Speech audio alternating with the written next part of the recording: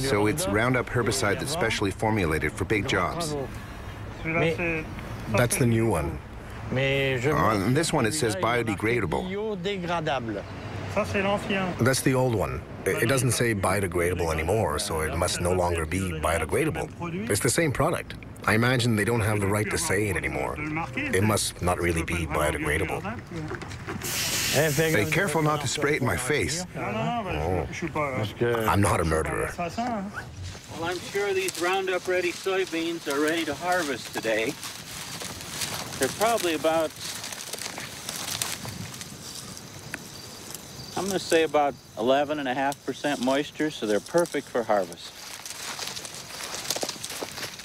First heard about Roundup Ready soybeans in a farm magazine about eight years ago, and uh, it seemed like a neat innovation. The soybean has a protein genetically inserted into the plant, and its resistance of Roundup. The Roundup is sprayed on the plants. There are some definite advantages. If you look at our, my field here, you don't see weeds. When label directions are carefully followed, Roundup is not harmful to humans, animals, or their environment. Copyright Monsanto, made in Belgium. If you see any snails, don't spray them because they'll be inedible. So watch the strawberries. I'd encourage European farmers to take a look at the Roundup Ready technology. Frankly, it's very good for the environment. It's a sustainable system. So give it a try.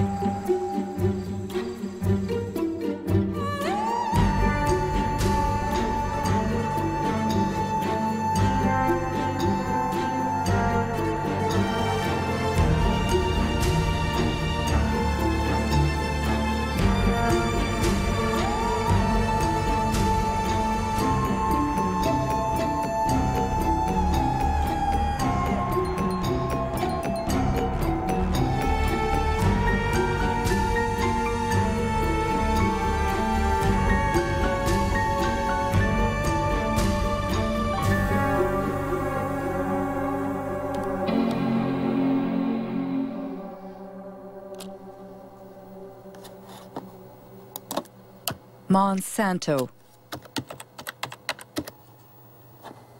For 20 years, I've traveled the globe, and everywhere I've heard about this American multinational. But what I've heard hasn't always been positive. Wanting to know more, I surfed the web for months to put the pieces of the puzzle together. On its website, Monsanto positions itself as an agricultural company that aims to help farmers produce healthier food while reducing agriculture's impact on our environment. Its leading product is Roundup, the world's best-selling herbicide for the last 30 years.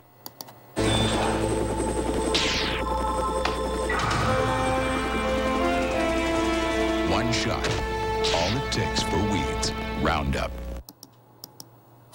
Monsanto is also the world leader in biotechnology. 90% of the GMOs grown on the planet belong to them.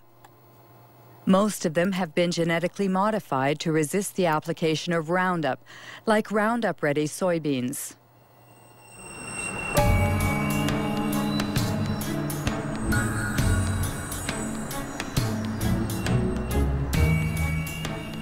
Monsanto's GMOs have invaded the planet, but no ag industry product in history has ever incited as much controversy and passion.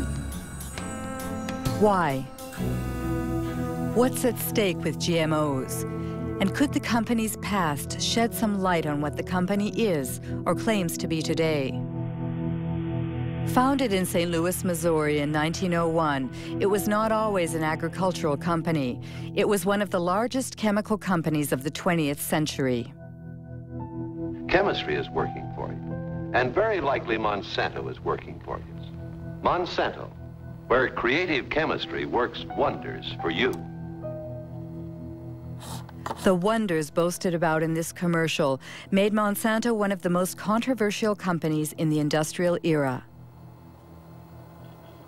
Agent Orange, aspartame, bovine growth hormone, PCBs. These chemically created oils used worldwide as coolants and lubricants in electrical equipment were the jewels in Monsanto's crown for over 50 years. They were called Aroclor in the United States, Pyralin in France, and Clophen in Germany until they were banned in the early 1980s. Monsanto PCB.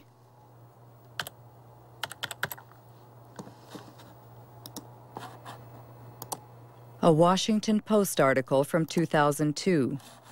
Monsanto hid decades of pollution. It happened in Anniston, Alabama.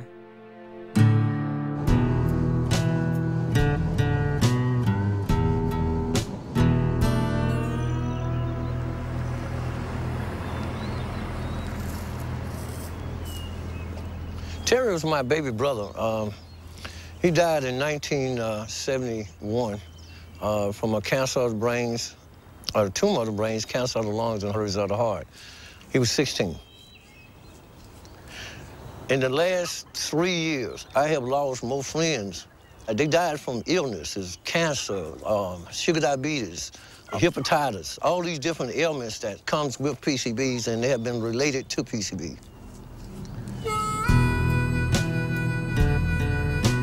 This is Monsanto Road.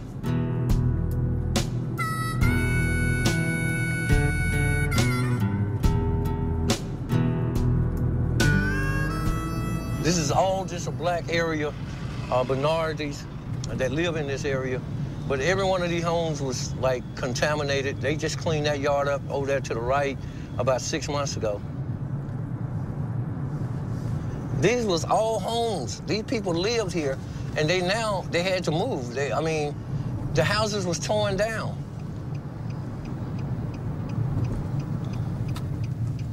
My brother fell dead right around the house. This is the house I was raised in.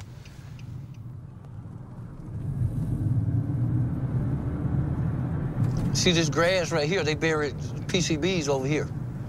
Monsanto got permission to bury PCBs in Anniston.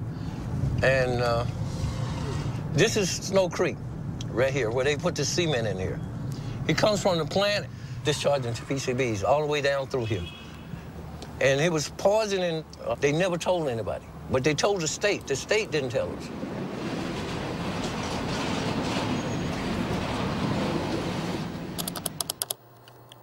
PCB Monsanto knew, but what exactly did they know? An environmental organization in Washington, D.C., headed by Ken Cook, has put internal Monsanto files online. Most of them are classified confidential.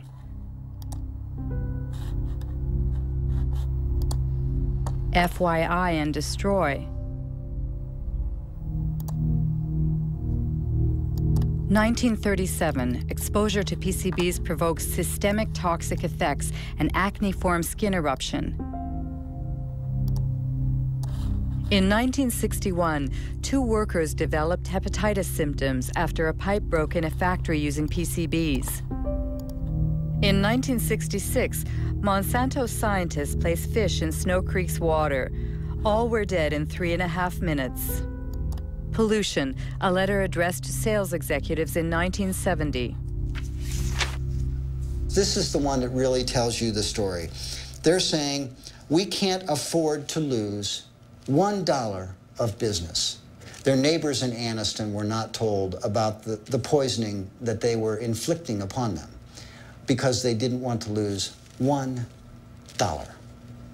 It was only when lawyers went to court on behalf of people in Anniston and forced the company through the legal system to disclose these internal secret documents that we knew what they knew. They knew the truth from the very beginning. They lied about it. They hid the truth from their neighbors. They hid the truth, in many cases, from the government authorities. And when they did share information with government authorities that should have been acted upon, the government authorities, instead of siding with the people who were being poisoned, sided with the company. They sided with Monsanto. It was outrageous, absolutely unforgivable.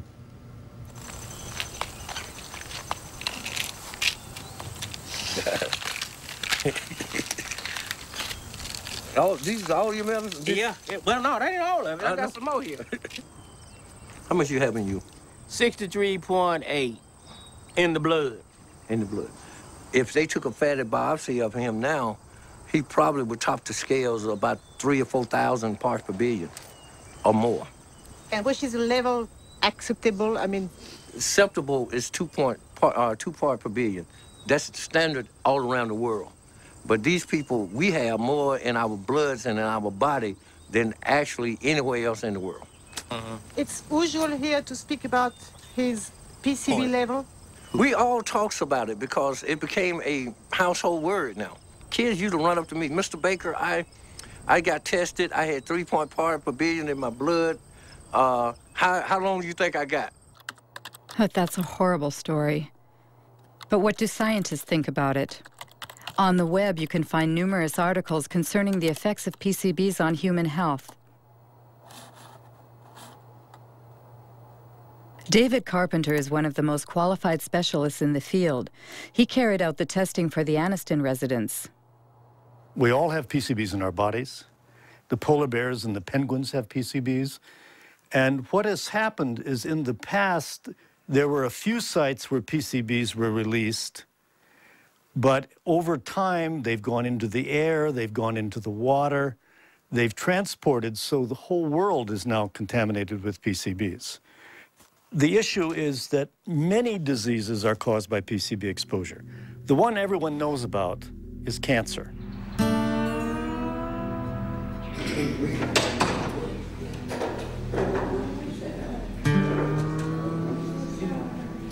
My test results stated I had 202, 202 parts per billion in my system.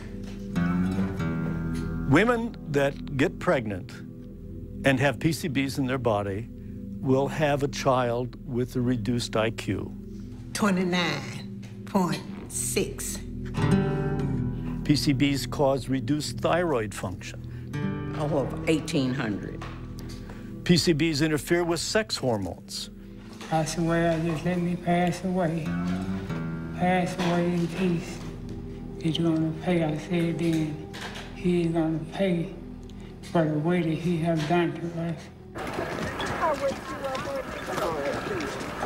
In 2001, 20,000 Anniston residents filed two lawsuits against Monsanto. Monsanto and its subsidiary, Solutia, settled by paying $700 million to compensate the victims, to clean up the site, and to build a specialized hospital. But no Monsanto executive was ever sued. To do justice. Under American law, in most instances, it's very rare for executives or uh, officials in these companies to be held criminally responsible. So we have the civil system, the civil courts. We make them pay. And the truth of the matter is, in most instances, uh, the price these companies pay decades later is a fraction of their profits. And this is why it pays to keep these problems secret. And it makes you wonder what they might be keeping secret now. Uh, I have to say, we would never trust a company like Monsanto to tell the truth about a pollution problem or about a product. We would never trust them. Ken Cook says we would never trust a company like Monsanto. So what about Roundup, the world's favorite herbicide used by gardeners and farmers alike? What is it exactly? It's the brand name Monsanto gave to glyphosate, a so-called non-selective or total herbicide because it destroys all plants. First sold in 1974, it owes its great success to Monsanto's unwavering claims that it is biodegradable and good for the environment. Voici Roundup, le premier désherbant biodégradable. Il détruit les mauvaises herbes de l'intérieur jusqu'aux racines et ne pollue ni la terre ni l'os de Rex. Roundup, le désherbant qui donne envie de désherber. Roundup biodegradable. Ken Cook was right. The company was found guilty of false advertising. Twice. The first time was in New York in 1996. And the second was in France just last year. The judges found that the wording biodegradable leaves the soil clean and respects the environment were false advertising. Especially since, according to tests performed by Monsanto itself, Only 2% of the product had broken down after 28 days. That's why Monsanto recently removed the word biodegradable from its containers. But that's not all. Many scientific studies have shown that Roundup is highly toxic. For example, Roundup provokes cell division dysfunction, a study by Professor Robert Bellé.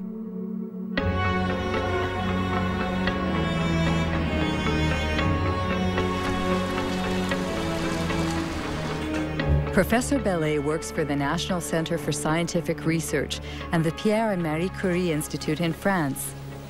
He has studied the effects of Roundup on fertilized sea urchin eggs. The big surprise was that Roundup has an effect on cell division. We saw very quickly that Roundup affected a key process in cell division. Not the cell division mechanisms themselves, but those which control cell division. You have to understand how cells become cancerous.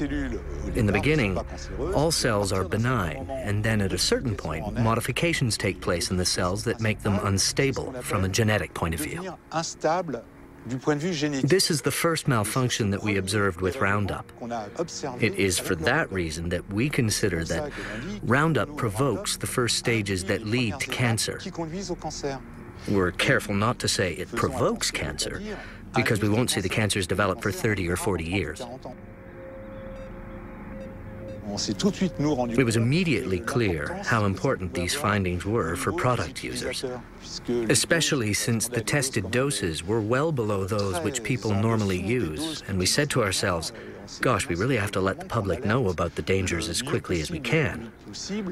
And I thought the best way to do that was to talk to my administration. But there, I was shocked, very, very shocked, because I was told, ordered rather, not to communicate our findings due to the GMO question lurking in the background. What an incredible account. Roundup's toxicity was hidden to protect the development of GMOs. So let's go back to the creation of GMOs. According to Monsanto's site, Roundup Ready soybeans, introduced in 1996, were the first bioengineered crop to be approved in the United States. Farmers using these seeds belong to the American Soybean Association, whose address is on Monsanto's site. John Hoffman is its vice president and an ardent biotechnology advocate. In the spring, I will go out and, and spray one pass of Roundup to burn down the weeds that are growing in the early spring.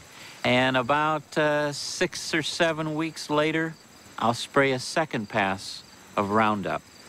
And that controls the weeds for the year. Before we had Roundup technology, this field would have had weeds. We would have had to walk through and pull the excess weeds by hand. It was labor intensive. So the Roundup Ready system saves me time and it saves me money. It seems Monsanto's new wonder has what it takes to entice farmers. But how does it work? How can the soybean plants survive being sprayed with Roundup? This is a soybean cell. The core of this cell contains its DNA, in which the bean's genetic structure is encoded. In order to create its GMOs, Monsanto breaks the species barrier using a Roundup-resistant gene harvested from a bacterium. This gene is placed on microscopic particles of gold, which are fired into the soybean cells with a gene gun. The gene penetrates the DNA and creates a protein, making the plant resistant to Roundup.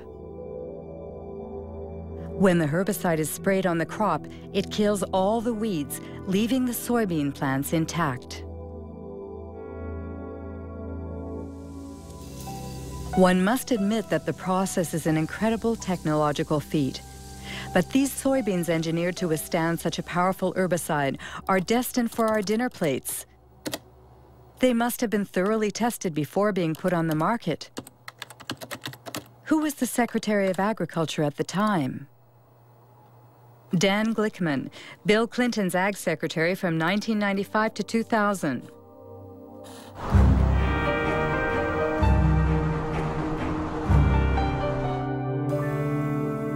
What I found in the early years I was involved in the regula regulation of biotechnology that there was a general feeling in agribusiness and inside our government in the U.S. that if you weren't marching lockstep forward in favor of rapid approvals of biotech products, rapid approvals of GMO crops, then somehow you were anti-science and, and anti-progress.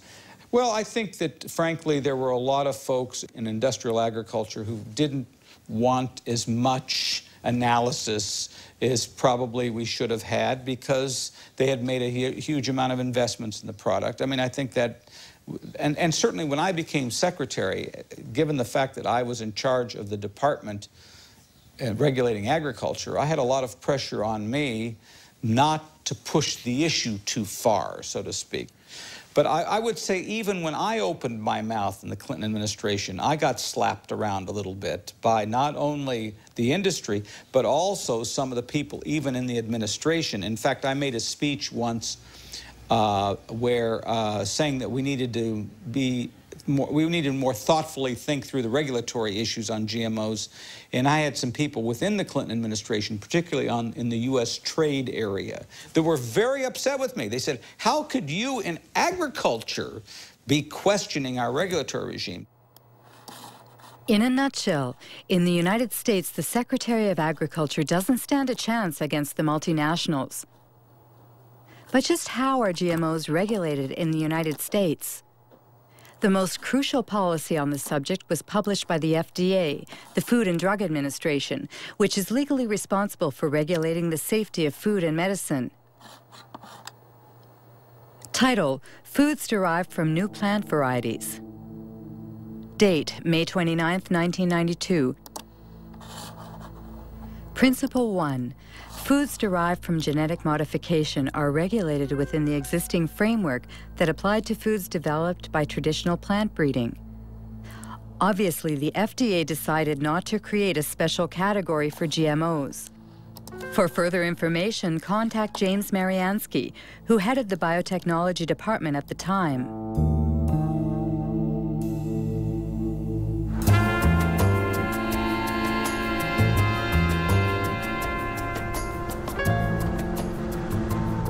Basically the government had taken a decision that it would not create new laws, that it felt there were already sufficient laws in place that had enough authority for the agencies to deal with new technologies. That means the White House asked the agency to write a policy where GMOs should not be submitted to a specific regulatory regime? But it's not based on scientific data. It's a political decision? Yes, it was a political decision. It was a very broad decision that didn't apply to just foods. It applied to all products of biotechnology. Unbelievable. James Maryanski admits that GMO regulation was based on politics rather than science. How exactly did they justify their decision? Principle 2 the components of food as a result of genetic modification of a plant will be the same as or substantially similar to substances commonly found in food.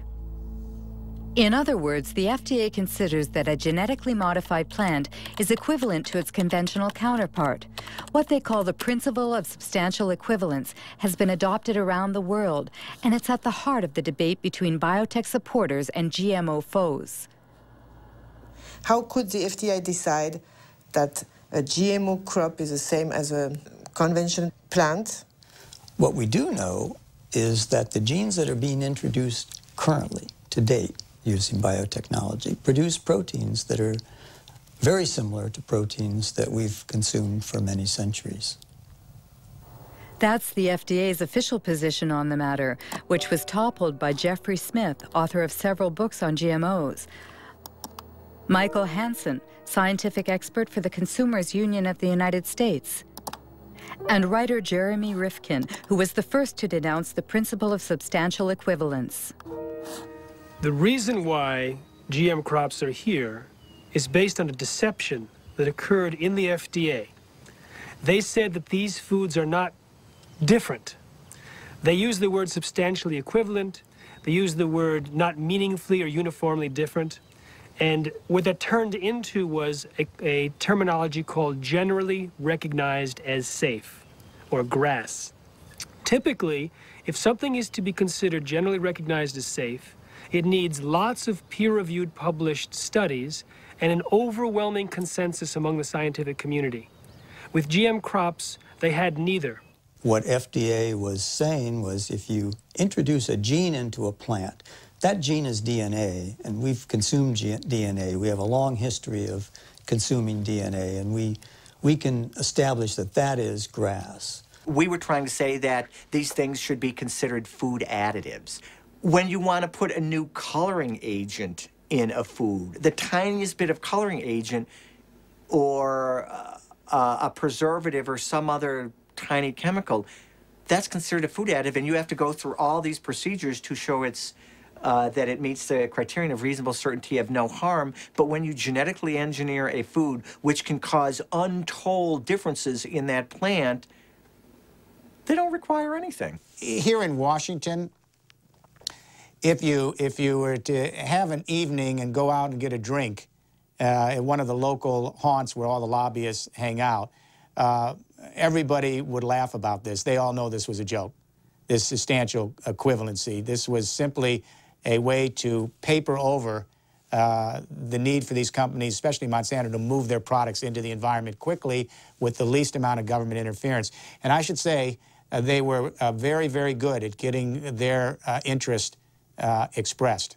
I remember meetings that we had where the Monsanto scientists uh, met with the FDA scientists and they went through the kinds of modifications that they were making and how those were being done.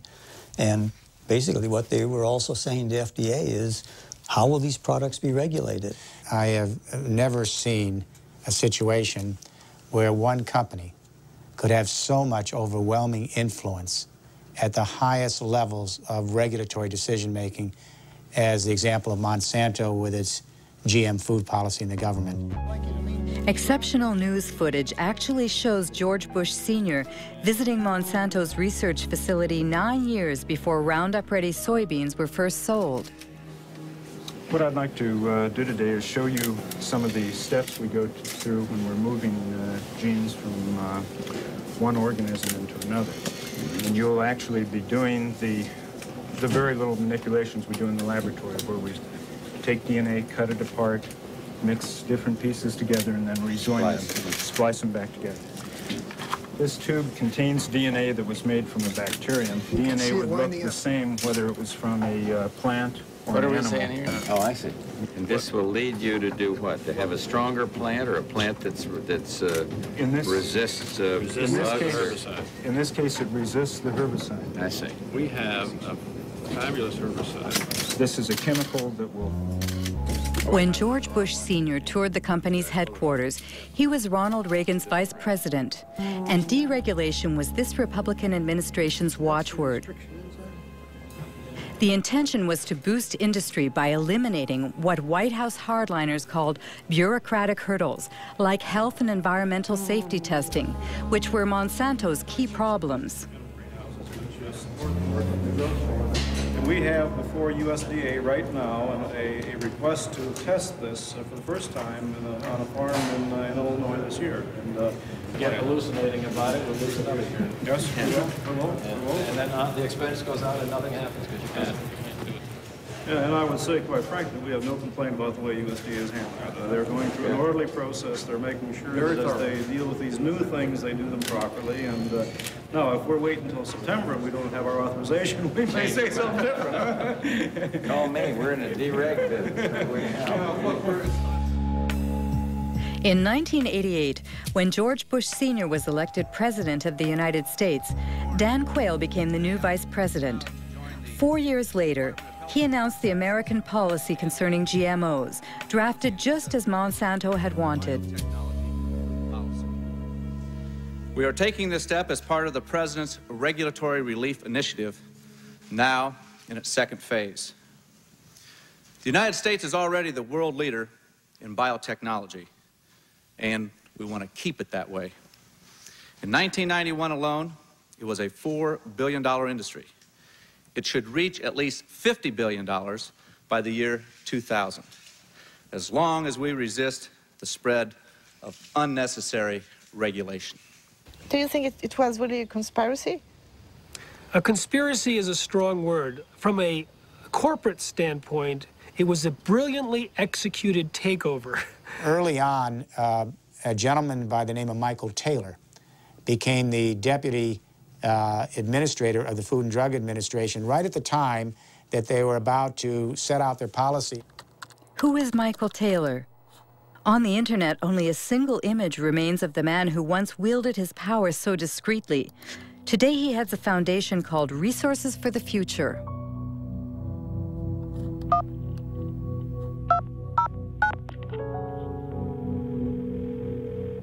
Hello, Marie Monique speaking. Hello, it's Mike Taylor. My questions are about your your role. I mean, when you uh, were working at the FDA, um, before hi being hired by the FDA, you worked as an attorney for Monsanto during seven years, didn't you? Well, I was a partner in a law firm of which Monsanto was a client, and uh -huh. I worked on some Monsanto matters. Yes. Uh huh. And apparently, if I understood well what I read, and the FDA created a new position for you, Deputy Commissioner for Policy? Well, because there was a special need at that time uh, at the FDA because of the new GMOs. Uh, it, had, uh, it had nothing to do with GMOs. Ah. Nothing at all to do with GMOs. I wasn't the author of these policies, but that's that, that's very that's just false. He moved over to the FDA in July of 1991. Up until that time, he was at a law firm called King and Spalding. His personal clients included not only Monsanto, but the International Food Biotechnology Council. And he had drafted for them a proposal for how they would like to see genetically engineered foods regulated. And if you look at the proposal that was written for IFBC, that was Michael Taylor's, with the final one that was published, it looks very, very similar. So if he didn't write it, it looks like somebody took what he wrote and changed it slightly for the policy. Mr. Taylor was the um, uh, deputy commissioner at the time, and he provided the leadership um, for the project and served as the, the chief, uh, the sort of the lead uh, policy person in terms of uh, making sure that the project got done. So Monsanto played that game very well, both the political game and the uh, regulatory game. They played a key role in bovine growth hormone in getting that thing approved and also in how genetic engineering was dealt with. Michael Hansen has just mentioned bovine growth hormone. What's that? It's a transgenic hormone that's injected into cows, increasing dairy production by 20%. It would be an understatement to say that it had critics. The hormone threatens our health. Deadly poison. Manipulation. Called RBGH for recombinant bovine growth hormone, Monsanto began selling it to dairy farmers in 1994 under the brand name Posilac.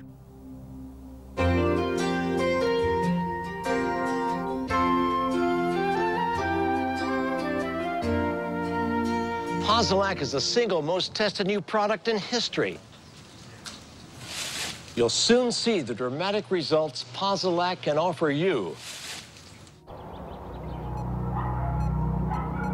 In 1985, Monsanto submitted Posilac to the FDA for market approval.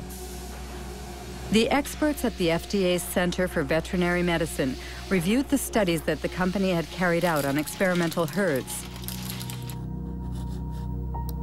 At the FDA, the veterinarian in charge of reviewing the data was Richard Burroughs. In an interview, he stated that agency officials had suppressed and manipulated data.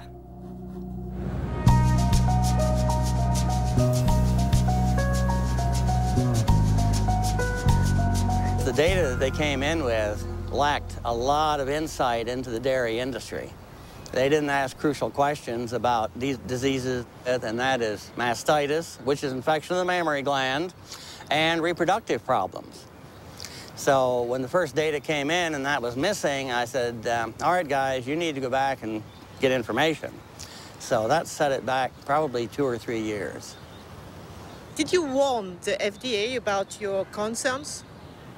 They pretty much just sidetracked me. They pulled in, my boss pulled in other people that were closer to him, and I saw less and less of the data. Even the things I had asked for to be done, I didn't, like the mastitis studies, I never really got to see a lot of that because they figured, well, if you're in the way, we'll get you out of the way. So they sidetracked me. Eventually, I was fired. One day, I was escorted to the door and told that was it. I was, I was done. Have you been threatened? Yes, um, mainly by the lawyers for Monsanto, because when I was going for my appeal, they told my lawyer that if I went in and revealed any company secrets in my defense, that they would sue me. In the end, the FDA was forced to reinstate this conscientious veterinarian. He eventually resigned, disheartened. On the internet, there's also talk about files that were stolen from the FDA and sent to Dr. Samuel Epstein, who heads the Cancer Prevention Coalition.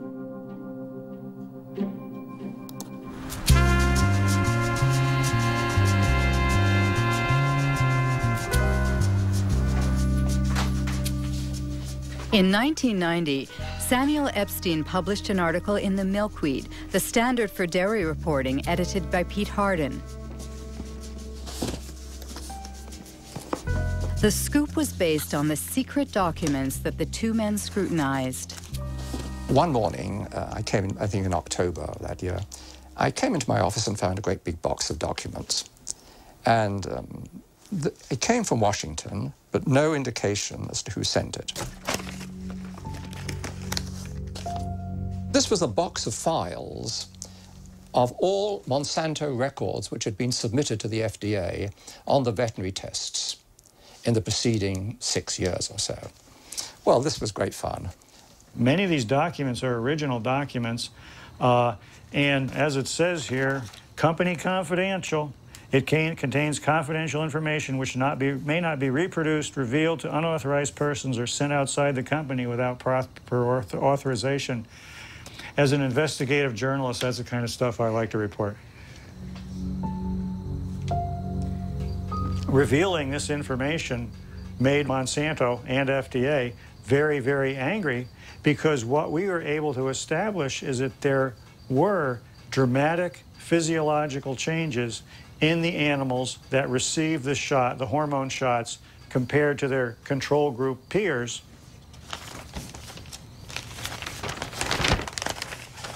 For example, we see the ovaries of the cows receiving the synthetic hormone in the different treatment groups were, for the right ovaries, 34% larger, 42% larger, and 44% larger. Elsewhere in the stolen files, it shows how there were severe problems with the reproduction of these treated animals. The data is conclusive. We provided the data, the raw data, uh, and summary data peer-reviewed data not done by us to support the submission. Every health authority who has looked at bovine somatotropin has found that it is completely safe for consumers. For Monsanto, the hormone is not only safe, it is actually beneficial for consumers. Because the chemical composition of the milk is not altered as a result of Posilac, the manufacturing and taste properties do not change it's untrue or lie, whatever adjective you want to use. um, it's a very different product. It's a very, very different product in many, many ways. First of all, um, as there's a high incidence of mastitis in the cows, there'll be pus in the milk. And then you'd find antibiotics to the, uh, given to the cows to uh, treat the mastitis. So a wide range of antibiotics would be in the milk. Apart from that, and very, very importantly, very substantial increases in levels of IGF-1 or insulin-like growth factor 1. There have been a series of studies, somewhere in the region of 60, relating increased levels of IGF-1 and breast, colon, and prostate cancers. Absolutely incredible. Are there other countries that have approved RBGH? Apparently, the hormone was banned in Europe and Canada. Canada? That's strange because Health Canada usually models its decisions on the FDA's. RBGH, scandal at Health Canada. Monsanto accused of attempt to bribe Health Canada for RBGH. Margaret Haydon, I swear that the evidence I shall give in October 1998, three scientists from Health Canada testified before a Senate commission in order to stop the approval of the transgenic hormone. The scandal was made public by whistleblower Dr. Shiv Chopra. Shall be the truth, the whole truth, and nothing but the truth. So help me God. My question to myself uh, was, what truth am I going to tell? The one I know or the what the minister is telling me to tell? And that was my uh, conflict. I would ask each one of you, have everyone, any one of you been uh, lobbied by Monsanto? Any one of you? No. Dr. Haydon? I did attend a meeting uh, back uh, approximately about, I believe, 1989, 90, uh, and Monsanto representatives had met with uh, myself and my supervisor, Dr. Drennan, and my director, Dr. Messier, and at that meeting, uh, an offer of one to two million dollars was made uh, by the company, and uh, I don't know uh, any more about what became of that, but uh, my director indicated after the meeting that he was going to report it to his uh, superiors. How did Monsanto react? Well, Monsanto did not deny that they made the offer of one to two million dollars at this meeting. They later on tried to say oh, this was an offer of research in Canada uh, to uh, do some more studies in cows in Canada or whatever. So anyway, that's what happened in Canada. The drug was not approved. So the European Parliament, based on what revelations in Canada, banned it forever.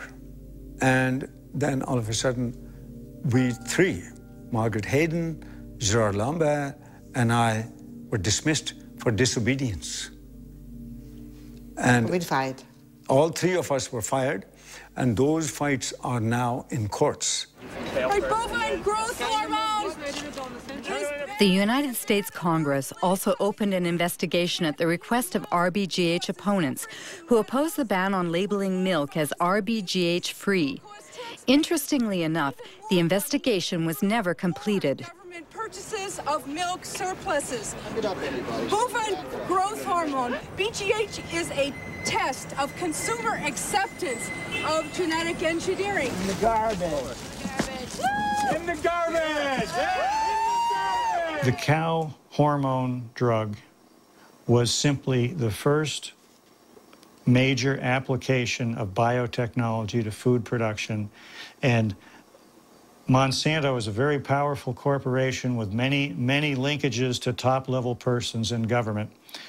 Uh, I think the prevailing ethic at the federal government was biotechnology is so important that we can't let a few little questions about cow safety or human safety get in the way. The reason the FDA approved it is it appeared to be that there was a lot of people that used to work at, had key positions that had worked for Monsanto, came over to the FDA and managed to get the FDA to approve it. It's revolving doors that move up. It's kind of like a double helix, a spiral. Revolving door? Yes, revolving door. The revolving door is not just in agriculture. It tends to be in many, many areas. Donald Rumsfeld was the CEO of Searle, which was a Monsanto subsidiary. The former U.S. Trade Ambassador, Mickey Kantor, ended up on Monsanto's board. Supreme Court Judge Clarence Thomas used to work for Monsanto. Monsanto revolving doors. The state of affairs in 1999 includes Linda Fisher moves from the Environmental Protection Agency to Monsanto. Michael Friedman from the FDA to Monsanto, Marcia Hale and Josh King from the White House to Monsanto, Margaret Miller from Monsanto to the FDA, William Ruckelshaus from the EPA to Monsanto, and let's not forget Michael Taylor, who went back and forth several times. Once your mission carried out by the FDA, you became Monsanto's vice president for public policy. Right. So there is no conflict of interest for you. No, the, no, and and again, the rules are the rules, and I played within the rules. I think, in terms of public acceptance, it, it's been one blunder after another. If you're trying to have a strategy for, Yeah. for having the public understand and accept the new technology, having the first application of it be uh, have be related to milk, which we already have more than we need, it created, you know, uh, it helped create a climate of of Suspicion. suspicion.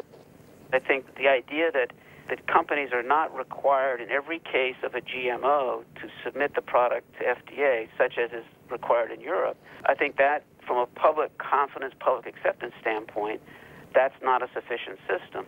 I personally have said that Congress should change the law. Congress should create a mandatory notification system that ensures that every product is looked at by FDA and that FDA makes a safety judgment about every product. That's some very compelling testimony. It seems that Michael Taylor has qualms about the policy he signed in 1992. What about the FDA's own scientists? Was there a consensus on the GMO regulations? FDA documents show they ignored GMO safety warnings from their own scientists, written by Steve Druker.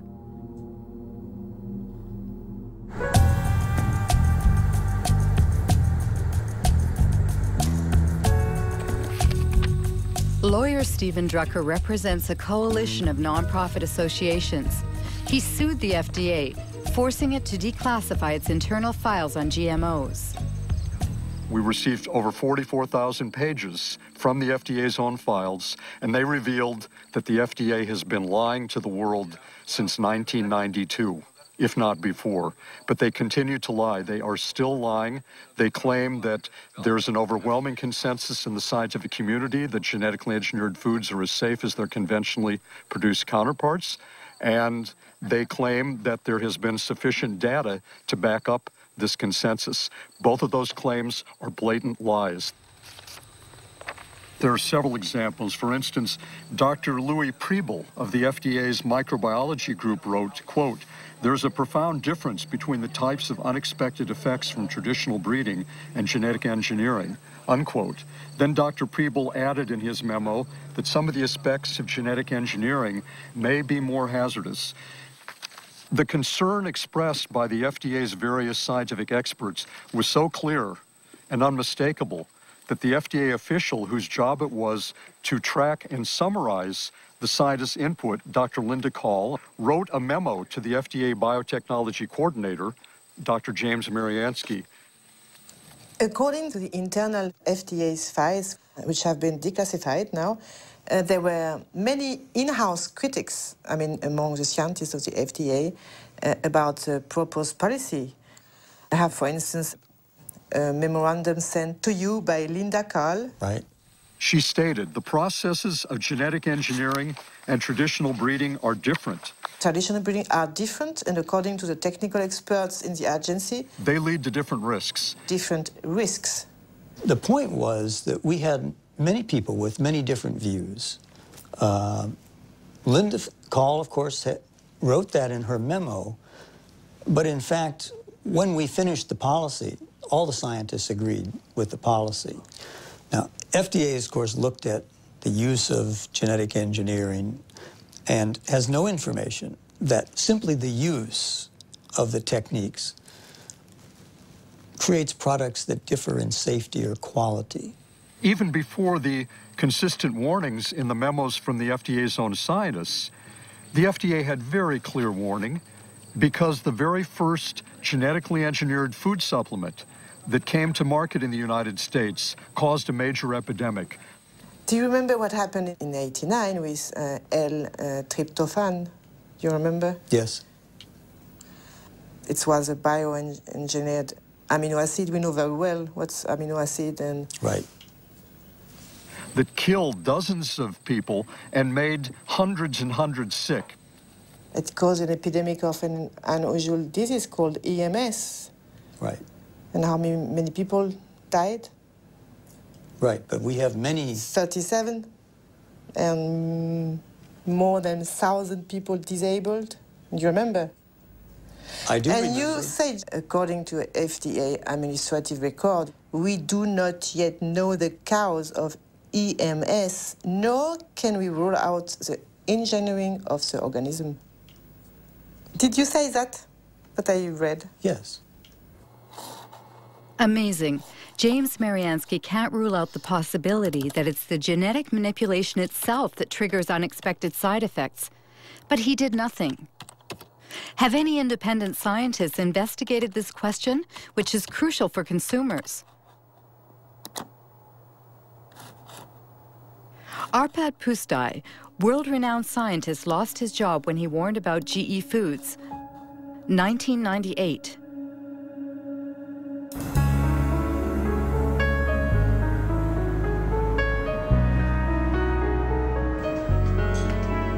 Arpad Pusztai worked for the Rowett Institute in Scotland.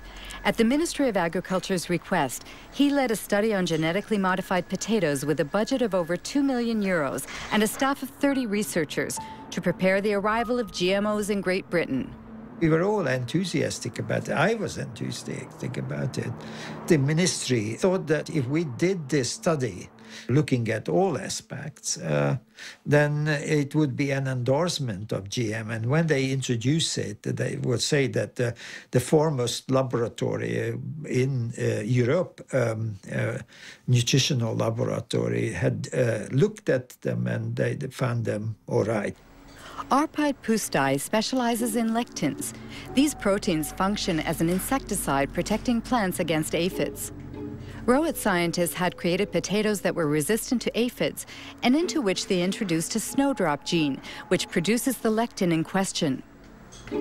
Beforehand, they verified that in their naturally occurring state, lectins themselves do not pose a health risk. The genetically modified potatoes were tested on rats. It had uh, twofold effects. First, it started to uh, increase uh, a proliferative response in the gut. And that you don't like um, because uh, this is uh, possibly, uh, I'm not saying that it is cancerous, but what it uh, does, it, it does, uh, it can have an adjuvant effect on, on any chemical, uh, um, chemically induced tumor. The other thing is the immune system was certainly in, got into high gear. And that was, we don't know whether it's good or bad, or, but it certainly did recognize the GM potatoes as, as alien. And we were convinced that uh, this insertion is causing the problem and not the transgene. As I said, the transgene, when we uh, did it in isolation, even at 800-fold concentration didn't do any harm. It uh, was a very important point because the American FDA uh, uh, is going on by about a neutral technology. And what we did say and what we did publish was actually corroborated, confirmed that it was not the, the transgene which was the problem, but it was the technology. While the first shipments of genetically modified soybeans were arriving in Great Britain, Arpad Pusztai's superiors authorized him to be interviewed by the BBC. As a scientist actively working on the field, uh, I find that uh, it's very, very unfair to use uh, our fellow citizens as uh, guinea pigs. They will never forgive me for that.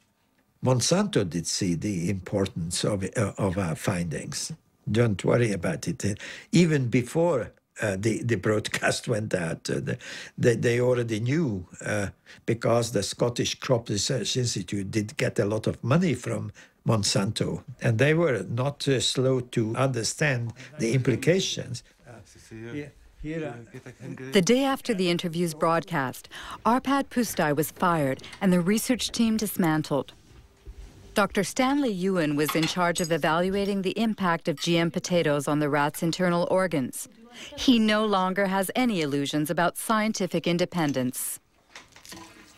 I was extremely, well, angry and very, very concerned. I just, it's like your whole world is disappearing under your feet. What's going on? But you see, they start to discredit Stanley as well. It's not just Arpad and me. Stanley was made to retire and he was discredited at the university. As well? Oh, yes. Oh, yes. It was Um, very hard indeed. Monday, it was wonderful work. Tuesday, it was rubbished.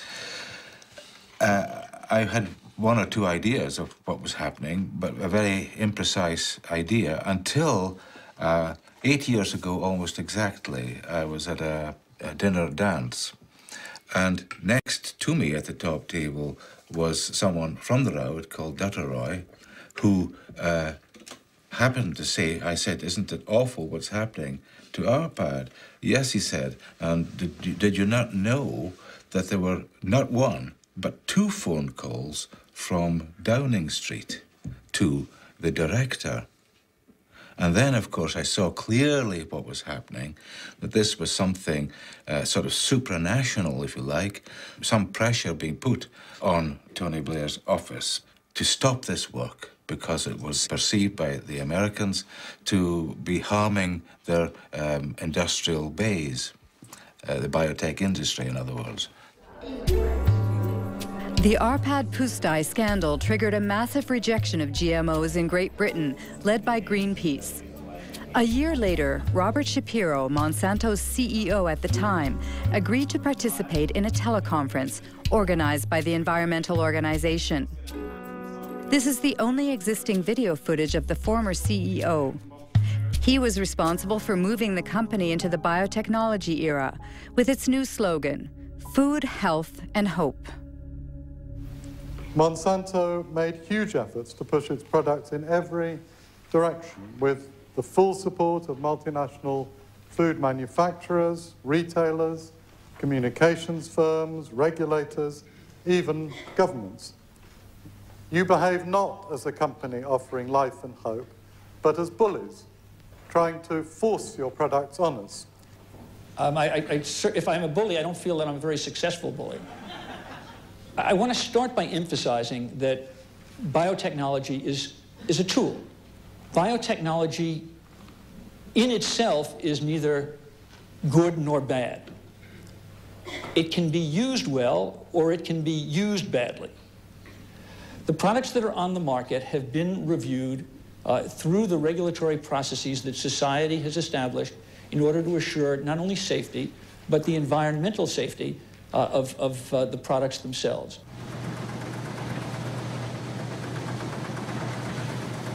After 10 years on the market, Roundup Ready soybeans account for 90% of all the soybeans grown in the U.S. In fact, 70% of the food in American stores contains bioengineered elements. Unlike Europe, consumers cannot make an informed decision because GM labeling is forbidden, a direct consequence of the principle of substantial equivalence. You know, I've got a soybean in my hand here, and I can eat this soybean. It's very safe, very safe. I think FDA is confident that the soybean, in terms of food safety, is as safe as other varieties of soybean. How is the FDA confident about that? It's based on all the data that, that the company provided to FDA that was reviewed by FDA scientists. And so it's, it's, it's not in the company's interest to try to design a study in some way that would mask results. How can James Maryanski be so sure? If I type in Monsanto falsified scientific studies, I get 174,000 hits. Among them, a report from the EPA of the United States. Monsanto accused of falsifying studies concerning the carcinogenicity of dioxin.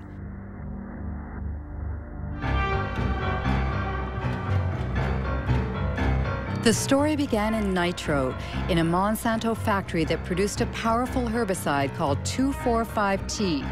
In 1949, an explosion in the factory provoked unexpected side effects. 228 workers developed an extremely disfiguring illness called chloracne. It's caused by dioxin, which is a highly toxic byproduct of 2,4,5-T.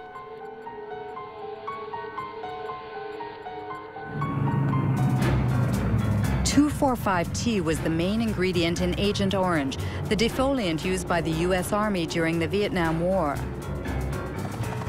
During the war, 40 million liters of Agent Orange, containing 400 kilograms of pure dioxin, were sprayed on trees in southern Vietnam.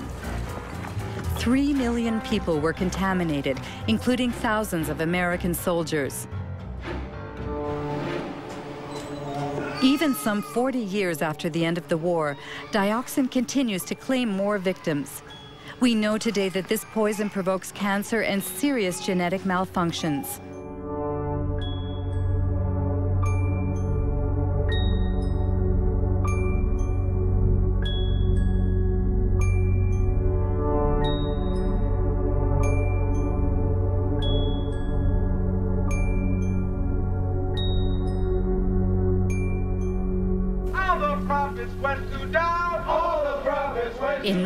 1978, while American Vietnam veterans were suing the makers of Agent Orange, Monsanto sponsored studies on the long-term effects of dioxin.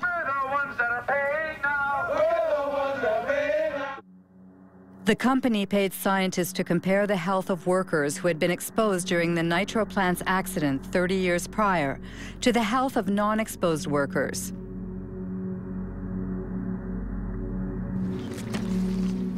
There are two experts on the subject. William Sanjour, who led the Toxic Waste Division of the Environmental Protection Agency, and Gerson Smoger, a lawyer who represents Vietnam veterans. In 1990, uh, Dr. Kate Jenkins, uh, a colleague of mine at EPA, wrote a memorandum pointing out that allegations had been made that those studies, uh, some of those studies that Monsanto had conducted were flawed and if they were done correctly, would have reached just the opposite result of that Monsanto had. The Monsanto studies showed that dioxin was not a human carcinogen. Well, that means they had the data first, and then they manipulated how they were going to look at that data to come up with the conclusion they want. It's absolutely, you never do a study that way. Never and they did it absolutely wrong. They, and they achieved what they wanted. And it came out later that there were people that had cancer that in one of these two studies were listed as being exposed to dioxin. And the same five people in another study were listed as not being exposed. When you put all these cancers into the unexposed, then it looked like the unexposed people were getting as much cancer as the exposed. And they said, but there's no difference. See, they're the same. So then thousands and thousands of veterans were, uh, were disallowed benefits uh, because of exposure to Agent Orange. So all policy was affected by those studies for seven to nine years in this country. Being a good scientist and a good EPA employee, uh, and someone, by the way, who was quite fearless, Kate Jenkins wrote a memorandum to the EPA Science Advisory Board asking them to review these two studies to see if they were correctly done. The fact is, there was no investigation of Monsanto. It didn't exist. Nobody investigated those, uh, those st studies. Nobody, period. What they investigated was Kate Jenkins, the whistleblower. They made her life a hell. They harassed her. They changed her jobs. They persecuted the poor woman if you think of Monsanto today, they are telling that their GMOs, for instance, are sound and safe. Uh, do you trust I wouldn't the believe company? a word that company says. Nothing. I might trust some independent source who investigated their claims, uh -huh. depending on who that independent source was and how good they are and how independent they are. Precisely. In order to prove the safety of Roundup Ready soybeans, Monsanto carried out a study which was published in 1996 in a well-respected scientific journal. The study was supposed to assess the effects of GM soybeans on animal health, specifically on rats. This study was thoroughly reviewed by both a Danish scientist, now deceased, and the Norwegian specialist Ian Pryme. I'm afraid to say, uh, value this study very poorly indeed. It's very disappointing, very disappointing. Um, especially because this paper sort of served as a basis for the whole um, uh, principle of, of, of uh, substantial equivalence. I can just cite which is again a bit surprising, although the animal feeding studies provide some reassurance that no major changes occurred. Now, some reassurance, now that's good enough. I want 100% reassurance, not just some, some reassurance. They talk, for example, about the, um, on page 723, except for the darker brown colour, livers appeared normal at necropsy. I mean, you, you, you can't do that without looking inside. You, you, you have to look at the content in, in, inside the liver, taking sections, showing under the microscope that there is no, no difference. They've used, for example, older, older rats. Obviously, again, if you want to avoid any problems, okay, use an adult. But uh, if you want to, to see if, if uh, any changes are evident, then you should use younger individuals, of course in some ways you can say it's bad science because um, a lot of the data that they should have shown isn't shown. But did you try, for instance, to get access to the raw data? I didn't. A colleague of mine did and spent quite a frustrating length of time going through different uh, offices and, and, and, so on. But finally, the answer was uh, the, the, answer was no. If there was nothing to hide, then there should be no, no problem you be, should be willing to, to distribute your, your material for anybody to do work on. And when, it's, when, when you keep it, keep it tight, then you suspect that there's why, why is this the case? One thing is sure. Thanks to this limited study, Monsanto's GMOs have inundated the world, principally in North and South America, Asia, and Australia. After only 10 years, transgenic crops now cover 250 million acres. 70% are Roundup resistant, and 30% have been genetically modified to produce an insecticide called BT.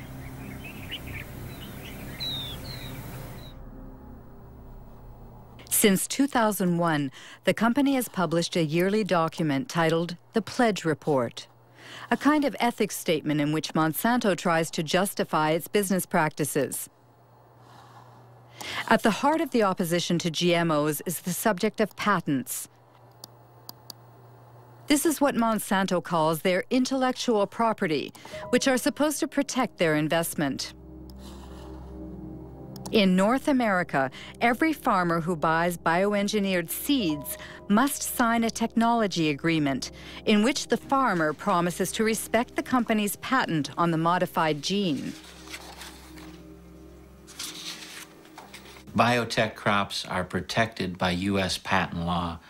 And so I may not in any way save seed to uh, replant uh, the following year. It's uh, something that uh, is a protection for the for Monsanto for biotech companies because they literally invest millions and millions of dollars uh, to produce this new technology.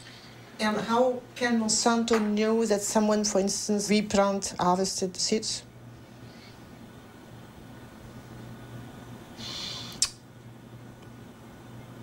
I, I'm not sure how they, how to answer that.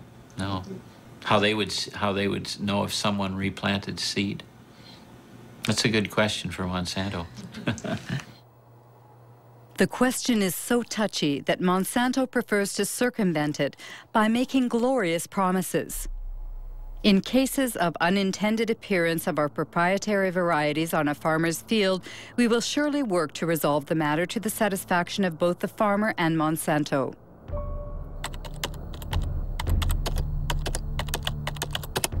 The reality seems much less idyllic. The Center for Food Safety in Washington, D.C. published a study on farmers sued by Monsanto for having not respected its seed patents. It found at least 100 lawsuits and many bankruptcies. Among the victims, Troy Roush, an Indiana farmer.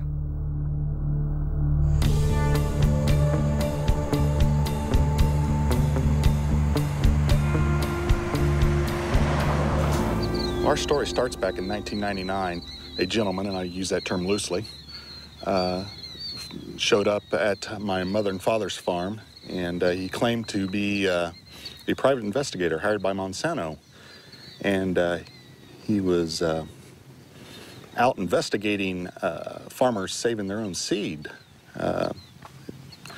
and asked us, he'd come right out and ask us if we'd saved their seed. And uh, we told him no, we had not, and um, offered up our herbicide purchases and seed purchases, uh, all the receipts and everything. Um, told him where everything was purchased so he could go check it out for himself. Um, he uh, he declined that uh, that offer, and um, what occurred is then they they sued us. Monsanto filed a lawsuit against myself, uh, my father, and my two brothers. And uh, Monsanto presented us with uh, documents that they claimed were uh, samples taken from our farms. To obtain those samples, Monsanto had to have trespassed upon our land without our permission and stole those samples. That year, I recall we had uh, 492 acres of Roundup Ready soybeans. Um, and they were, they were growing under contract for a company for seed.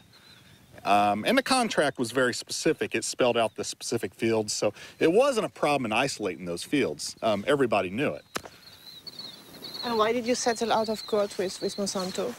Well, after two and a half years of this, uh, the family was just, just destroyed. Um, uh, the stress involved in this, I mean, they're in essence threatening uh, five generations of work. And um, if they would to prevail in something like this, it's all gone. They take it all away. They take it all away. Good morning. Morning, sir. How are you this morning, Troy? I'm well. How are you, David? Still surviving? Good. Troy Roush and David Runyon grow conventional soybeans. They have been victims of the so-called gene police. Created by Monsanto to enforce its law in the fields, the gene police sow fear in rural America, where farmers denounce the totalitarian methods used in a GMO-dominated world. I have some pictures here for you, Troy, I'd like you to look at. Okay. Here's what I have done, Troy, to uh, help prevent re-entry on my farm of anyone coming onto my farm. Summer, it was in July of 2003, and they came, it was the latter part of July, they came to my house. It was uh, like 7 p.m. Who came? Uh, Monsanto employees. And they presented me a uh, business card. And uh, they asked me a few questions about the kind of soybeans I plant, the kind of corn I plant, uh, where I market my crops. And so I said, okay, that's the end of the conversation. Yeah, patents have changed. They've changed everything. It revolves with a, with, with a relationship of trust with neighbors. That is gone. Uh, by myself, I probably only have two farmers that I talk to that are close to me. Are they really afraid, the farmers? Of course they're afraid. You can't defend yourself against these people. They've created a little industry that that serves no other purpose than to wreck farmers' lives.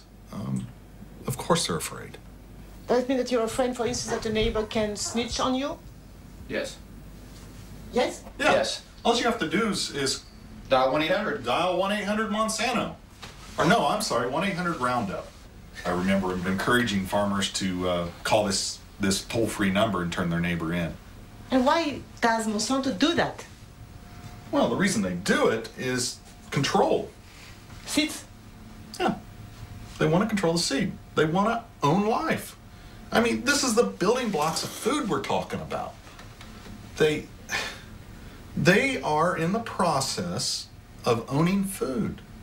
All food. Between 1995 and 2005, Monsanto acquired over 50 seed companies throughout the world. These companies produce corn, cotton, wheat, and soybean, and also seeds for tomatoes, potatoes, and sorghum.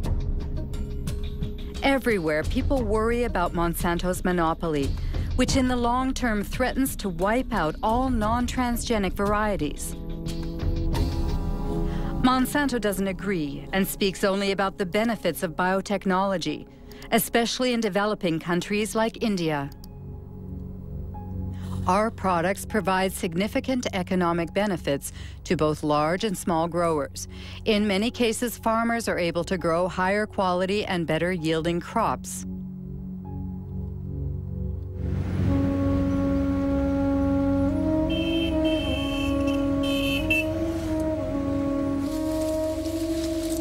India is the world's third largest cotton producer.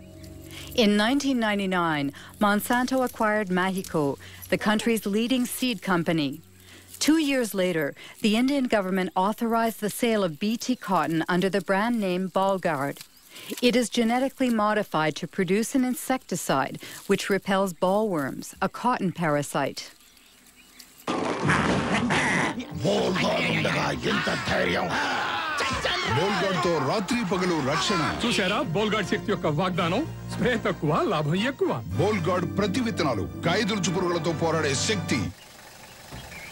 Since 2001, Kiran Sakkhari and Abdul Qayum have been closely following the transgenic cotton grown by small farmers in the Warangal district.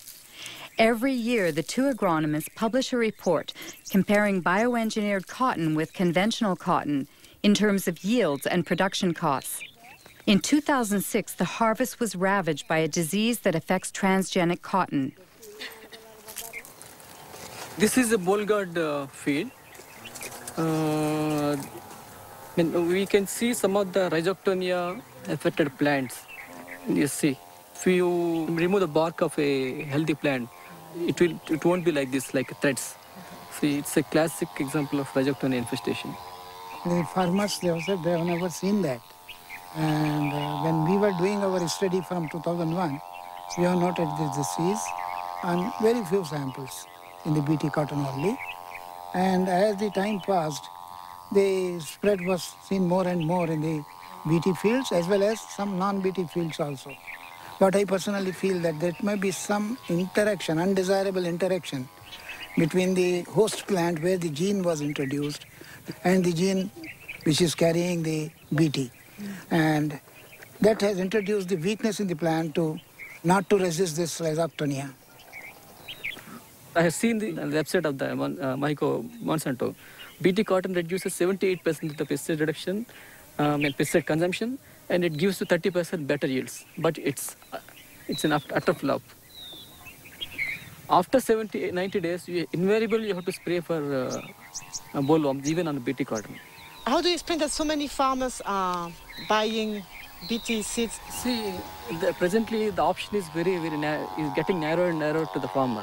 During the current season, even farmer wanted to go for non-BT. There was no non-BT hybrid seed available in the market.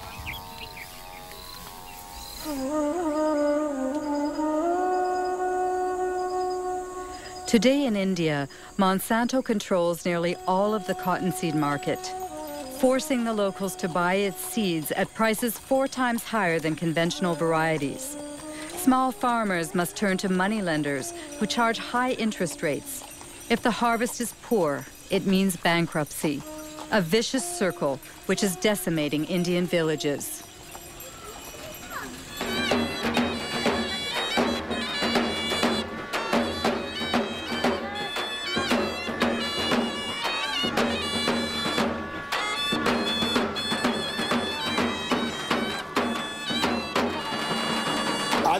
जे आपल्या इथं आत्महत्या झाली ती कशामुळे झाली? BT cotton BT cotton अजून काय कारण होतं? कर्जबाजारी वय काय होतं? पंचवीस. हा ही consumed pesticide one litre pesticide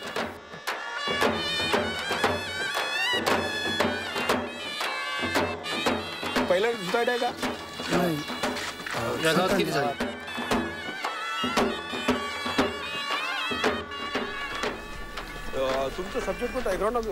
Tragedies like the one we've just witnessed occur three times a day in the Vidarbha region, where BT cotton was introduced in 2005. Of course, cotton farmers committing suicide is not new in India, but the GM crops are causing it to skyrocket. However, in this battle that pits David against Goliath, Few dare to publicly denounce this international scandal.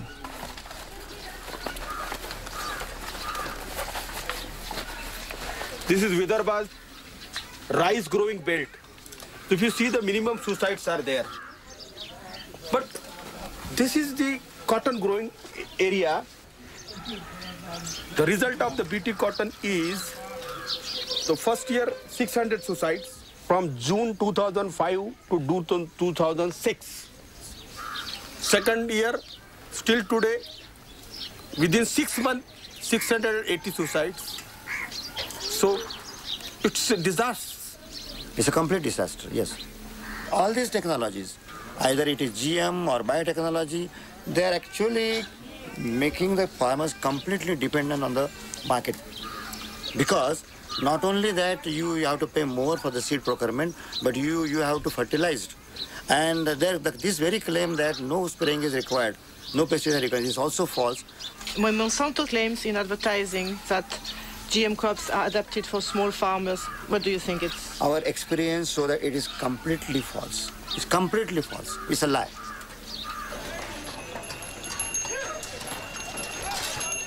On this day in December of 2006, a revolt was brewing in the largest cotton market in the state of Maharashtra. Three days later, riots broke out, and dozens of small farmers, including Kishore Tiwari, were arrested. बहुत कम भाव में ले रहे माल और काश्तकार करके परेशान हो रहे तुमचं किती आहे म्हटलं कर्ज? Thirty two thousand rupees a debt तुमचं? पन्नास साठ हाँ sixty thousand rupees a debt तुमचं? पन्नास. Fifty thousand rupees a debt twenty thousand rupees a debt fifty thousand rupees a debt fifteen thousand rupees किती लोकांना बीटी लावायचं नाही पुढच्या वर्षी हातवर sir sir they don't want to quote for the BT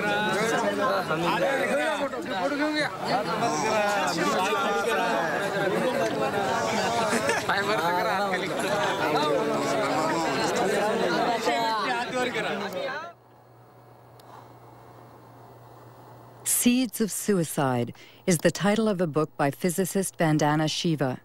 She won the Alternative Nobel Prize and heads the Navdanya organization, which aims to conserve traditional seeds.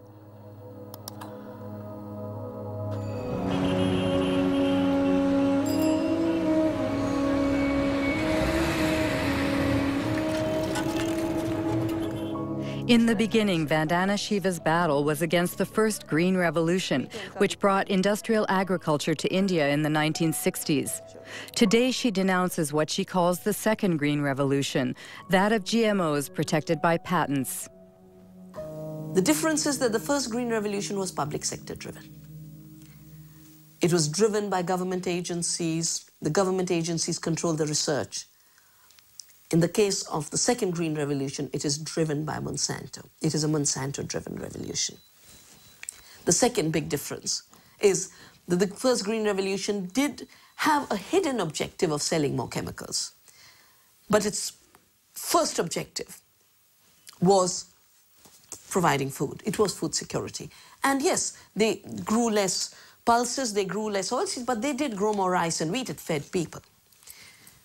The second Green Revolution has nothing to do with food security. It's not about food security. It is about returns to Monsanto's profits. That's all it is about. They've always said genetic engineering is the way to get to patenting, but patenting is the real aim. If you look at Monsanto's research agenda, they are testing at this point something like 20 crops with BT genes in them. There's nothing they're leaving untouched. The mustard, the okra, the brinjal, the rice, um, the cauliflower. Once they have established the norm that seed can be owned as their property, royalties can be collected, we will depend on them for every seed we grow, of every crop we grow. If they control seed, they control food, they know it, it's strategic, it's more powerful than bombs, it's more powerful than guns. This is the best way to control the populations of the world. Monsanto responds to Ms. Shiva's persuasive argument by brandishing its pledge integrity, dialogue, transparency, and sharing. We want to participate constructively in the process by which societies around the world try to develop good answers to those questions. Are the products going to be safe for the environment? How are they going to affect biodiversity? How are they going to affect other plants and insects and birds? What about outcrossing of genes? What happens if, if genes do outcross into wild species? To me, that means, among other things, listening carefully and respectfully to all points of view. Despite Robert Shapiro's placid demeanor, he has just touched on a subject that greatly troubles GMO opponents transgenic contamination, which Monsanto prefers to call an adventitious presence that's part of the natural order. According to a study led by Berkeley professor Dr. Ignacio Chapela, GMOs have already contaminated Mexican corn. But when the scientific journal Nature published the study's findings, it triggered a violent controversy.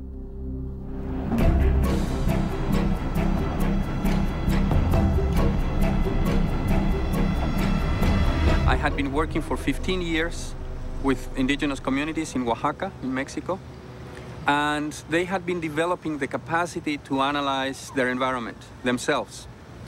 One of my students went to try and train people to detect transgenics. We brought with ourselves a positive control. That was a can of corn from the US that we knew was transgenic. And we were looking for a negative control.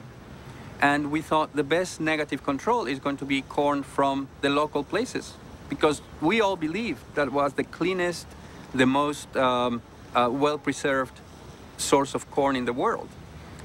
So the surprise came when we looked at these samples and we discovered that the samples that we all believed would be non-transgenic had already transgenic DNA within them. It was a very big surprise for us to discover that this, these uh, land races of corn that were kept by people locally and supposedly maintained over 10,000 years had already been reached by transgenic contamination, mostly from the US.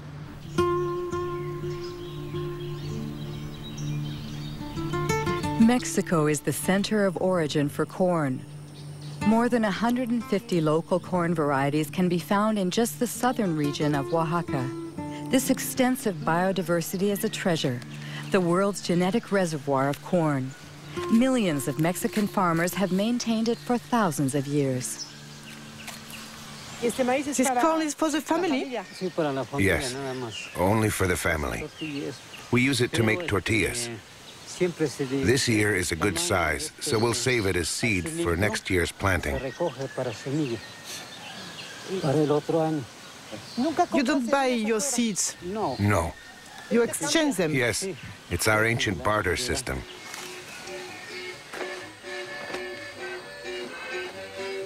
To preserve its corn's diversity, Mexico has banned genetically modified crops. However, due to the NAFTA free trade agreement it signed with the United States and Canada, Mexico cannot stop the massive importation of American corn, 40% of which is genetically modified. This industrial corn, as it's called in Mexico, is highly subsidized by the U.S. government. So on local markets, it costs half as much as traditional Mexican corn.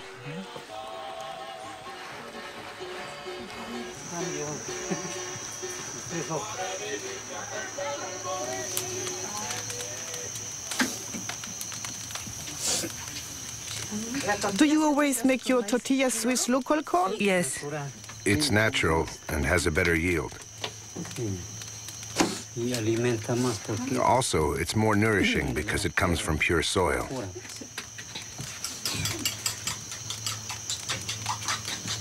That's blue corn. In the past, my ancestors only planted this kind of corn. Today, we maintain it as well. It existed before the Spanish conquest. Yes, there's another kind of conquest. What's the new conquest? It's the transgenic conquest that wants to destroy everything by making local corn disappear so that their industrial corn can dominate. If they succeed, we'll be dependent on multinationals. We'll be forced to buy the fertilizer and insecticides they sell, because without them, their corn won't grow. Whereas the local corn grows very well without fertilizer or herbicide. Look at it. It's very beautiful.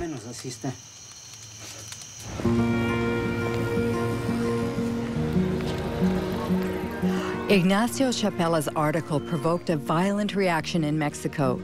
Since then, the National Ecology Institute has confirmed the contamination of Mexican corn. Roundup Ready and BT genes have been found in corn from five regions of the country. What would happen if bioengineered corn crossed with traditional land races? Dr. Alvarez-Buylla led a study using a local flower. She inserted the same gene in several specimens and then observed their growth. We observed that two plants, strictly identical from a genetic point of view, in other words, they both have the same genome, the same chromosomes and the same transgene. The only difference is that the transgene is located in different places. And well, once they grew, these plants presented a phenotype. That is to say, flower shapes that were very different. Some have flowers that are identical to their natural counterparts, like here, four petals with four sepals, but others have abnormal flowers with abnormal hair or strange petals. In addition, some are completely monstrous. The only difference in all of these plants is the location of the transgene, which was inserted randomly. Why is that worrisome? In Mexico, once the transgenic corn seeds have been released into the environment, it's very likely that the transgenes will insert themselves into the genomes of the local Mexican varieties. It's an unavoidable phenomenon because corn plants cross naturally by wind-blown pollen. Given that, we fear that the genetic resources of traditional corn will be uncontrollably affected.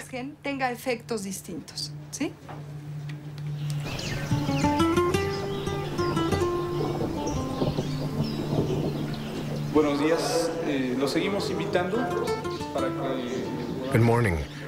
We invite you to attend a meeting about the new diseases which are infecting our corn because of transgenic contamination. sobre todo por la contaminación por transgénicos. Aldo heads an organization of indigenous people. For two years, he's been leading an information campaign in Oaxaca communities, where Elena Alvarez fears have already been confirmed in the fields. Yo voy a mostrarles ahora algunas imágenes I'm going to show you some photos of some corn plants that we took in our region of Sierra Juarez. en, en la región de la Sierra Juárez. We'd like to know if you have already seen this type of plant in your community. ¿No? Estas no son. Aquí en esta imagen, por ejemplo, podemos ver You can see that some very strange things are going on. This plant, for example, has a branch here and another one there. las milpas normalmente no Normally, a corn plant is not like that. hoja y arriba There is always only one ear per leaf. En este caso But look here. saliendo tres gilotes There are three ears coming out of the same leaf. They are really monsters. esa planta nosotros la enviamos a un laboratorio We sent a plant sample to a biotech lab to see if maybe it contained genetically modified genes. Unfortunately, the test came out positive. Usually, we see these types of plants along the roadside or in people's yards. It's possible that people buy corn in the shop and they drop some kernels while walking. y se le cayeron algunos maíces Some kernels germinate. This is how traditional corn became contaminated. puede producir la contaminación a las plantas nativas de maíz Lo que yo entiendo que con el uh, eh, From what you've said, if we don't manage to stop their spread in our fields, Soon we'll be forced to buy our corn seed because our own won't work anymore. That's very troubling. What should we do? First of all, if you find a strange plant, you should immediately remove its stamen, because that's where its pollen comes from. In any case, you must be very vigilant in monitoring your plants.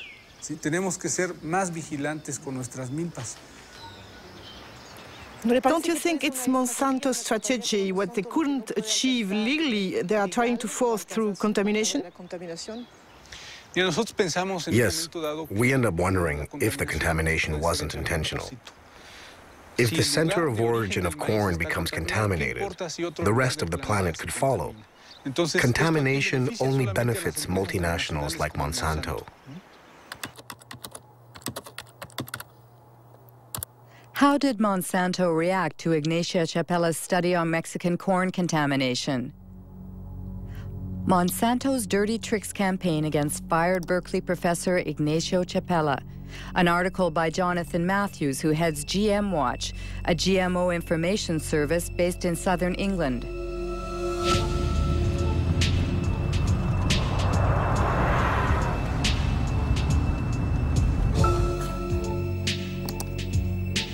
According to Jonathan Matthews, Ignacio Chapela was a victim of a campaign launched on AgBioWorld, a pro-GMO internet site.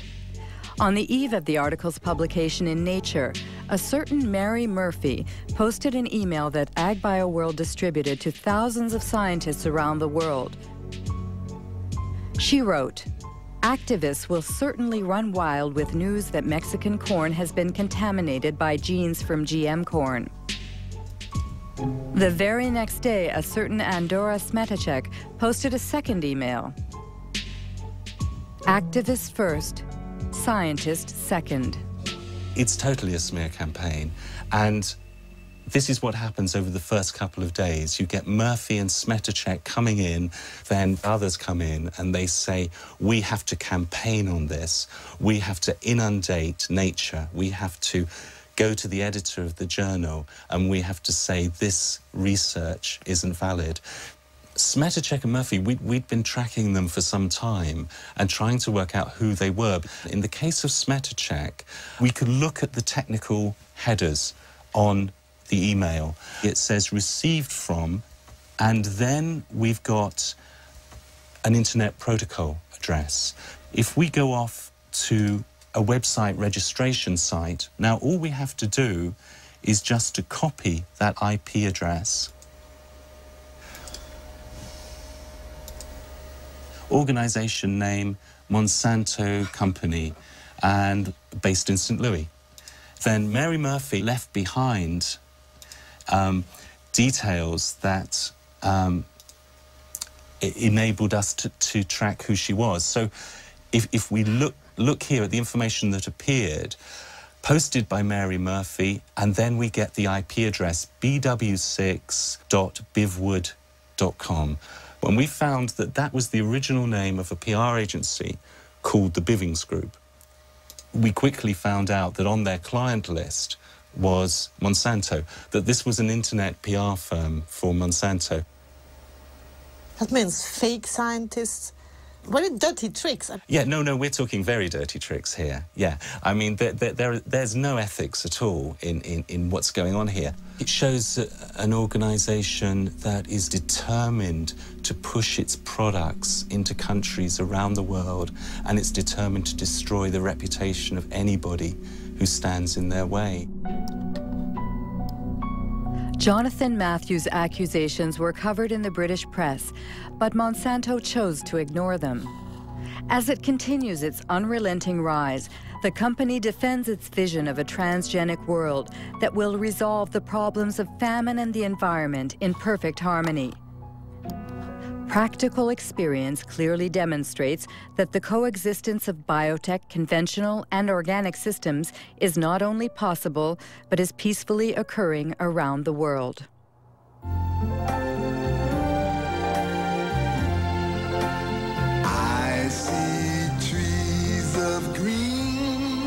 Imagine um mundo que preserve a natureza, o ar, os rios,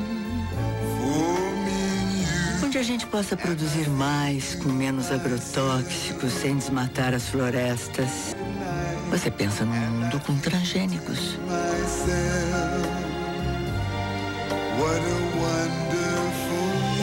Uma iniciativa Monsanto com apoio da Associação Brasileira de Nutrologia.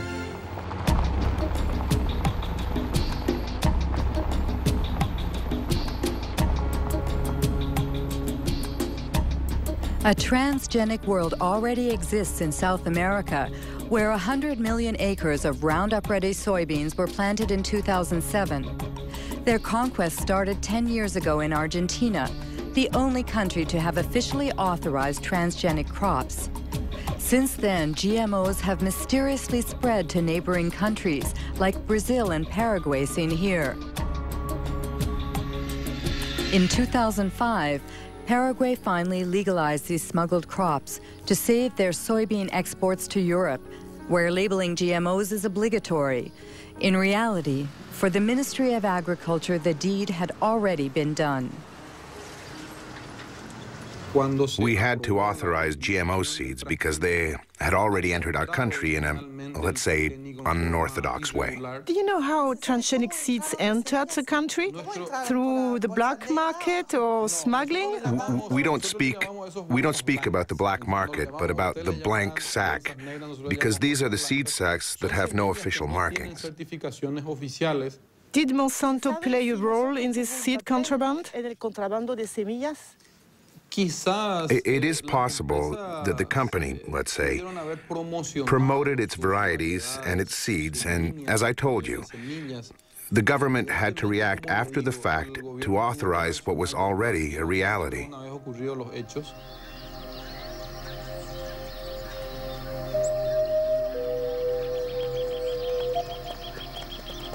Whatever the origin, contraband has been profitable for Monsanto.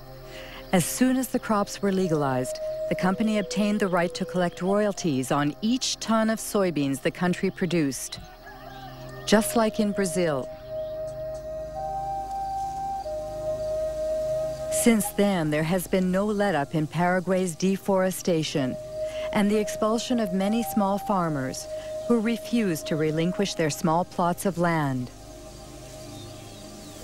Jorge Galeano leads a small farmers organization which is fighting against the progression of what he calls the green desert. What we have here is an example of a GM extension of soybeans. In fact, it's a monocrop that destroys everything in its path. Before here, there were fields containing everything that a family needed to live. Plants, trees, manioc, corn. Do you think that a GM crop can coexist with the crops of the small farmers? No, we are sure it can't. There are two incompatible models that can't coexist. It's a silent war that eliminates communities and families of small farmers. In addition, it destroys the biodiversity of the countryside. It brings death, poverty, and illness, as well as the destruction of the natural resources that help us live.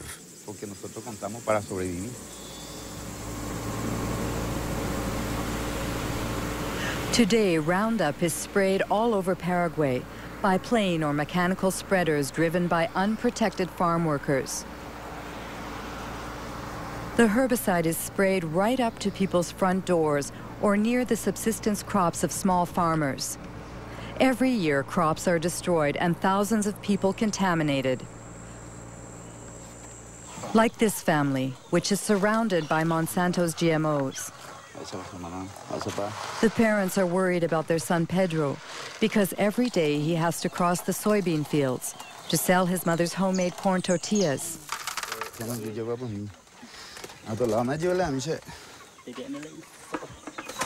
How long has he had that? It started 15 days ago. It started on his foot and then it spread. That's how it starts.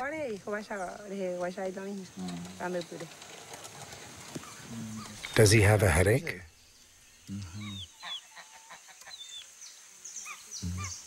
Is he eating? Very little. Today he didn't want to eat what I prepared for him. He only drank a little fruit juice. And his brother? He eats better, but it's difficult.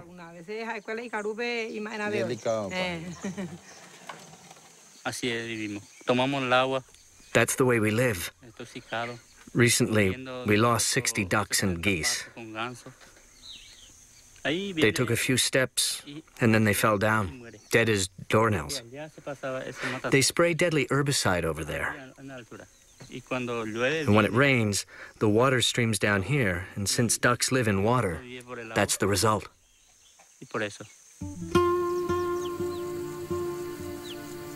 In Paraguay, 70% of the farmland is owned by only 2% of the population. With GMOs, the concentration is increasing. Three quarters of the soybean producers are foreigners staking claims for this new green gold. The ban on animal-based feed after the mad cow epidemic and the recent biofuel craze have caused soy prices to soar, triggering a rush to Roundup-ready crops. According to the last census in Paraguay, each year 100,000 people leave rural areas to live in urban slums. An estimated 70% flee Monsanto's genetically modified soybeans, which are destined to feed Europe's chickens, cows, and pigs. We are going to talk about the production model of GM soybeans promoted by Monsanto.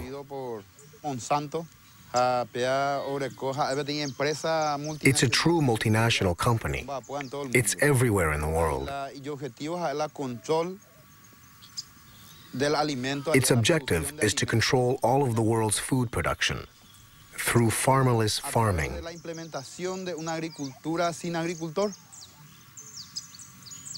The result is that Monsanto is depriving us of our food sovereignty, of our ability to feed ourselves, without depending on anyone else.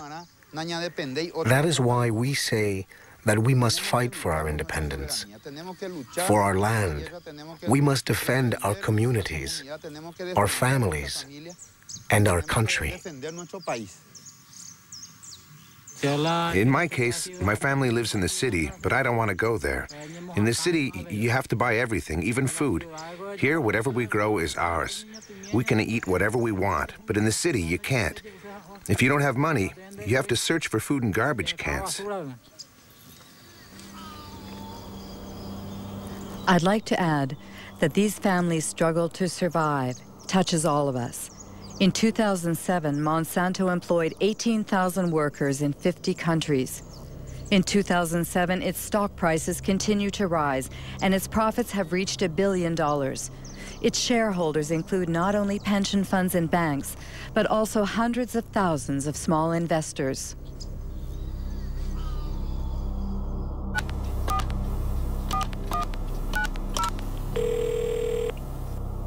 Chris Horner. Uh, hello, Christopher Horner. I'm Marie-Monique Robin from France. Yeah, we appreciate your persistence in uh, in asking, but uh, you know we've had several conversations internally about this and uh, have not changed our position. So there's no reason for us to participate. Our suspicion is that it would not be positive. Um, so you know